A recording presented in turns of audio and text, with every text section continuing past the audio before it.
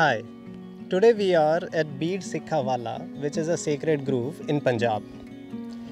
In this jungle survey, we are going to identify the native trees of Punjab, of this area, wherever we are making the forest. And also, we are going to understand about the different layers of the forest. The main purpose of doing this forest survey is to develop a list of all the native trees found in this area so that we can go to a nursery and procure the same species that we have identified during this survey. Also, these types of survey help us to understand how the forest grows in different groups. Species have a likelihood to grow with each other. During these surveys, we also identify guilds of different species, where two or three species of trees continue to grow together repeatedly. So once we develop a pattern, whenever we plant our forest, we plant these species together and replicate the same guild that we would have identified during this survey. So let's have a look at the jungle and identify our trees to develop the list so that we can go and procure our seedlings. Thank you.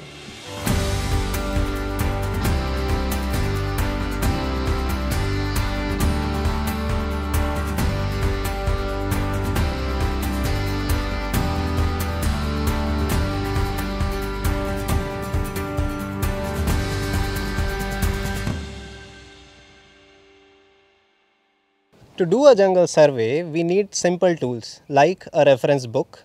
In this survey, we are using Jungle Trees of Central India by Pradip Krishen. Also, we need somebody who can identify most of the trees growing in that jungle. We always go to these jungles with the jungle tree expert. Today, we are with Mr. Gaurav Gujar, who is jungle tree expert at Afforestt. We are also going to be accompanied by some local people who can identify these trees. These are the people who have been living in these places for years. Also, there are some people who are botanists from this same geography. They can identify the trees using leaves, bark, fruits, flowers. So, using the reference book with tree experts, with botanists and the local people, together we are going to identify all the trees and make a list of them. So, in the first part of our jungle survey, let's look at this forest in Bir Sikhawala, Faridkot district predominantly this one species, Salvadora oleoides. Salvadora oleoides is the prime species which we can see in this area again and again repeatedly. So we can easily call it our major species. So now we are moving towards a guild. Guild is a place which has few species growing together and these guilds are repeated in nature again and again. So if we learn this combination of different species which grow in nature together, we can replicate these combinations whenever we are planting our own forest. Gaurav, do you want to say something about this one species which is getting into this guild? So this is basically a non-native species, Prosopis juliflora, which is a very invasive species and is not allowing any other species to grow. Uh, though they the species that is forming guild of native species is very strong and very robust but slowly this is creeping inside and not allowing all other ground covers and all other species to grow. If this non-native species is not removed this might slowly kill all the native species the last rem remnant species of this old forest. Let's move towards the guild. The first tree which we saw before as well is the same salvadora tree also known as miswak van and pilu Let's look at a few more trees growing in the combination with this tree. Gaurav, how old would be this tree? Uh, I think this, considering the stem and the growth, this could be the root runner of the same species. So all the species, all the oleoides are uh, which are growing here, they could be either connected or the uh, would be a seedling of from the same plant so this could be easily at least 50 to 60 years old because it's uh, it grows very very slow. And there has to be some old tree which is not here because this is usually a climbing shrub which takes support and then okay. develops uh, itself. Okay. so this one tree is you are saying around 50 to 60 years old? Yes. And how many of these trees are we seeing in this area? Uh, i think in this particular guild I could uh, spot at least two Okay. So when we are doing our survey, we note down the name of species, we note down the count, how many of these trees are found in that one particular guild that we are uh, observing, and then how much area this particular tree is covering in the horizontal space. So let's look at this tree, Salvadora oleoides, and the count is 2. Uh, another species that I could spot and which are like greater in number is the career. Care, we also call it care, which is Capparis decidua. Uh, it's a leafless plant which remains leafless almost throughout the year. It's thorny and again it grows very very slow. You could see these. This is the plant, and there are at least seven plants uh, around this guild that I could I could easily count. When we are surveying a forest, we have to also identify the different layers that are very much visible in a natural forest. As Dr. Miyawaki says, a natural forest is so dense that you can't even walk into it. Now, this is the reason why you can't even walk into a natural forest which is multi layered. So, at one particular layer, we are having the Salvadora pilu tree. Now, this grows in the second layer or third layer, but at the ground level, at the bottommost layer or the shrub layer, we are having a tree known as the career tree. And when you try to walk into it, you won't be able to because this tree is covering the bottommost layer. Later on, it can grow up to the sub tree layer also. So, different layers should be considered separate from each other when we are surveying a natural forest, and then we should identify what percentage of the area, total area, this tree covers on the ground. So, we will note down the name of the species, number of times we are spotting the species in this area, and how much area it is covering in the layer it is present. By doing this, we will be able to create databases of all the layers, and when we will plant our forest by covering all the different layers, we will be able to make a forest which is so dense that one can't even walk into it. So, the third species we have identified here in this guild is Gangani. it's Gangani. It's also known as falsa. It's a fruit bearing species which belongs to shrub layer or one layer after the shrub layer, subtree layer, probably, right? Yes. Okay. The fourth species is Shatavari, Shatavari. which grows as a climber, if I'm not wrong. Yes, right? yes, yes. So it grows as a climber and finally it reaches the higher layers. So which species do you think it belongs to? I think it will be more in shrub category because it's growing from the bottom, climbing and then spreading its uh, entire canopy. Okay. So so far in this guild we have found four different species.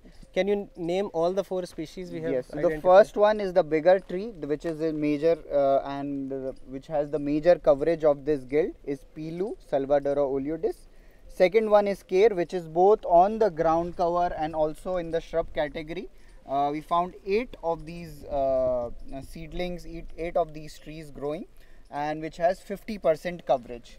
Third species is the Gangni or Grewia tenax, whose fruit, orange fruits that you are seeing here, that belongs to shrub category again, and uh, these are the highest in number. Allow, around 11 uh, specimens are observed in this guild, and though it's a very tiny, it's not spread much, so it covers around 8% of the shrub layer in this category.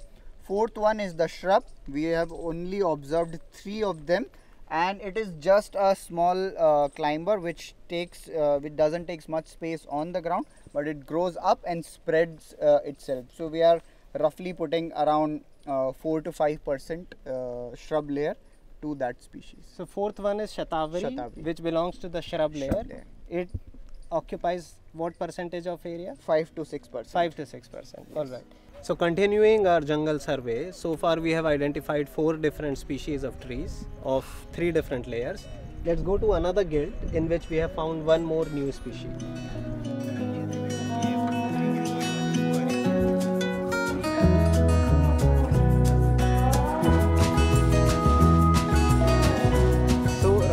We are at the guild number 2 which we are surveying. This is a large forest with many guilds. This is the second guild that we have come to and this is the fifth species. Name is Arni in local language that we have found. it's a very nice aromatic flowering species. It never grows on its own. It always grows in guild. Here we are seeing career tree on which this species is dependent. So it grows as a climber first and then becomes huge like a tree. So you can see two trees growing in this combination. Now many people ask us that if we plant our trees at such a high density 3 to 5 seedlings per square meter will they ever get a chance to grow because of their close proximity. However you can see in nature how close they grow. It's even denser than 3 or 5 trees per square meter. So nature also makes trees grow very close to each other because that's when they are able to support each other and we have seen this combination and many more combinations like these where trees are supporting each other and growing to their fullest. So this is a great new learning for us and fifth species in our survey. Gaurav, are we planting this species also in the forest that yes, we are making? Yes, yes. So all, almost all the four species that we have spotted, these are uh, these are being planted in our forest. Yeah. So all the species that we plant in our forest, the selection of these species come from the learning that happens during these forest surveys.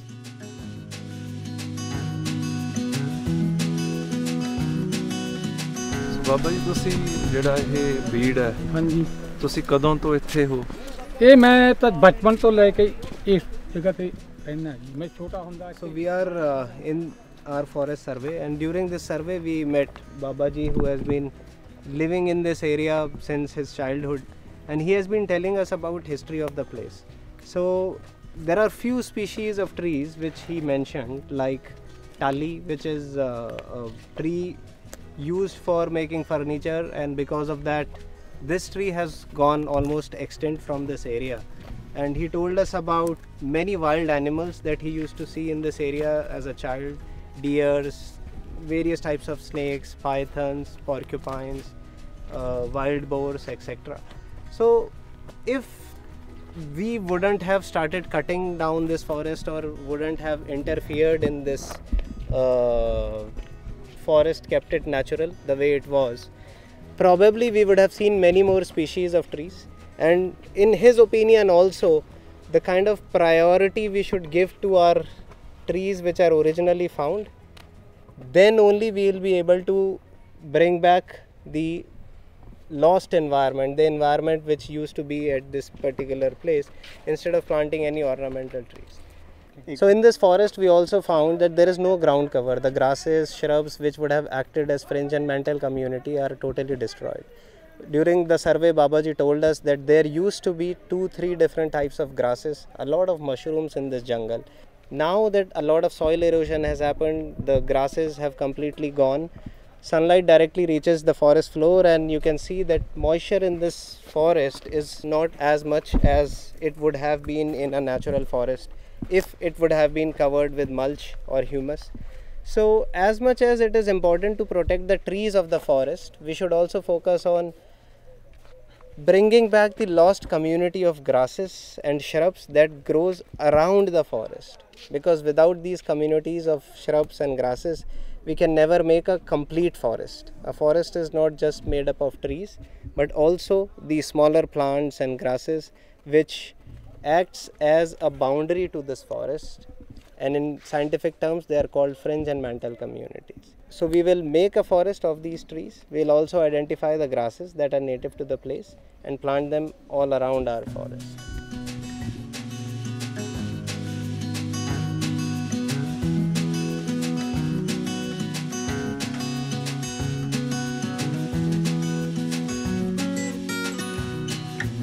We have just now finished our survey at Bir Sikhawala in Faridkot and we have identified five different species of trees here in this small area. We have seen number of guilds, three types of guilds primarily, combination of trees which occur again and again in nature, trees that grow together in groups. So Gaurav is going to tell you about the three different guilds that we have seen. Uh, the mainly that we observed were the Khejdi, Shatavari, and Jal. They were like uh, multiple times found together. And another one was Arni, Kher, and Gangeti. All three were several times repeated in several locations. Uh, the major one was Khejdi, Pilwan, Gangeti, and Jal. So all these four species were always clubbed together and spread across a vast area in uh, specific clusters. So we are going to plant many more trees that we will identify during the survey in nearby areas in nearby jungles. Out of the species combination that we have, we are going to replicate the same guilds when we will be planting our forest at the site where we are going to make a forest of 1313 trees. So we have identified at least two major species here. We have identified four different layers of trees here. We have identified three different types of guilds. So we'll take this combination in our notes, move to another location and add few more species to our list until we reach a number which covers almost all the species of trees that we have seen in evidence in documentation found in this area which tells us about the native vegetation of this particular geography.